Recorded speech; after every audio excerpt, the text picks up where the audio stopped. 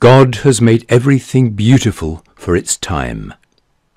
God has also placed in our minds a sense of eternity. We look back on the past and ponder over the future. Yet we cannot understand the doings of God.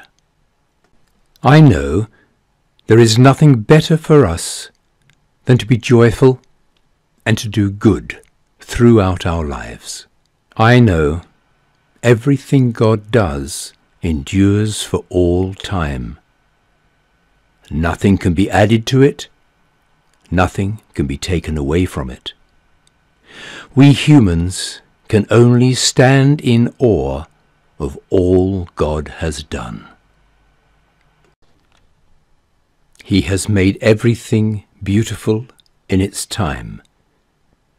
He has also set eternity in the human heart.